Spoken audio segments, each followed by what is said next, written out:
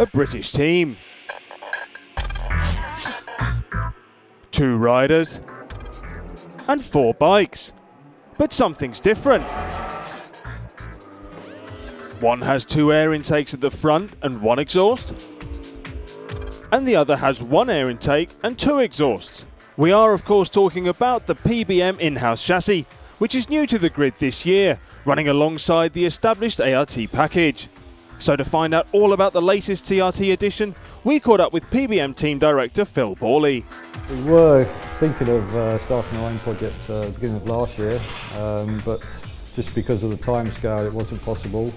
So we went with the, uh, the ART package last year and then uh, it gave us a chance to uh, evaluate everything uh, with, with the, uh, the GP Championship and um, and then you know make a plan for, for this year. No, we, we were able to start with a clean sheet of paper. Um, it was obviously best for us to uh, stay with the Aprilia engines because we knew you know they were the, uh, very competitive and uh, it kept the spare situation and the engine management a bit easier running the Aprilia engines.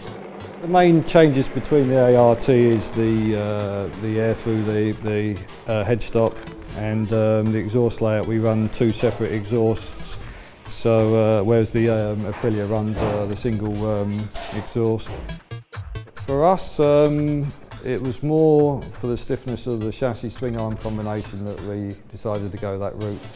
Um, performance wise of the engine we're still working with the exhausts um, to, to uh, you know try and bring the performance up but we're not really sure at the moment exactly how far off the uh, uh, the Aprilia package we are because they've had so much time developing for World Superbike and for uh, the GP that um, you know they have found the optimum exhaust pipe uh, design for, the, for their engine. So that's one area that um, you know we're continuing to work on. Everything's adjustable, like the head pipe position and the, the swing arm pivot heights, uh, all adjustable, which is normal normal procedure these days. Um, and the, we have some features built into the chassis so we can change the stiffness of the chassis um, and the swing arm also if we want to, to try that. Um, but yeah, just a normal twin spar aluminium chassis, uh, single shock absorber and, and you know most of it's similar architecture to most of the other GP bikes was obviously it's the future because everyone's going to be on the uh, the Magneti Marelli ECU Dorna package uh, next year. Uh, the only, it's only the software that's going to be uh, optional. Um, so it gave us also a little bit of a head start for, for next year when the rules are changing. To be honest, I don't think we've really found um, all the, the strong and the weak points. Uh, I guess the weak points really at the moment are developing the engine management because it's a new package and um, trying to find a, a, base setting, a good base setting that you know is going to work uh, well at all the circuits. You know the bike seems to handle well and, and the chatter, the level of chatters uh, or vibration is, is very low which is positive. So that's probably the, the strong point at the moment and and our ability to uh, develop and, and change things as we wish is uh, obviously hopefully going to help us in the future.